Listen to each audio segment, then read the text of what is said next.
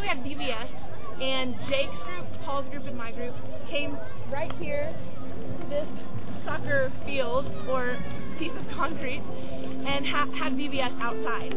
And uh, first we just started by playing soccer. Yeah.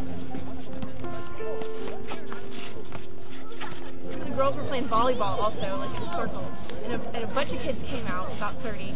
And um, then we played Red Light, Green Light, which they had never played before. Jake and Michael led Red Light, Green Light, and they giggled so much. I've never, I've never seen any of the kids giggle that much. I know it's only been a few days, but it was awesome just to see their smiling faces, and they, they loved that game. I hope we get to come back and play it again. After that, we sang some songs with them, taught them a couple of worship songs in Spanish, and some hand motions that go along with that.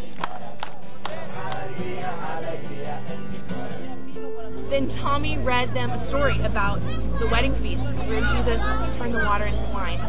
Um, James led an example with a cup, and he turned the cup upside down and poured water over it, and then uh, asked the kids why the water didn't go in. They said it was upside down. So then he turned it right side up and um, was able to pour the water in, and he compared it to the fact that sometimes we face away from God and we're not able to get poured into and we feel alone. But when we face God and when we seek Him, then we can be poured into and we don't feel alone. It's a really cool example. James did a great job with it.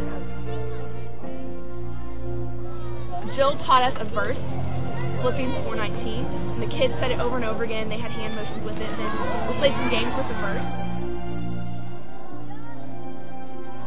We did uh, coloring, colored a picture with fruit on it with the verse, and we also did a craft project.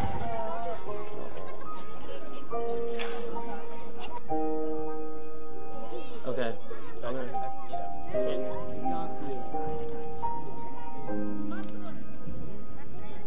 And as the day went on, more and more kids came, as you guys can see in the background. And there's about there's over 100 kids here right now, which is pretty incredible. Matt Reed led um, a gospel. Um, he told the gospel with using the, the wordless book. At the end, almost every kid raised their hand to receive Christ, um, which was pretty incredible.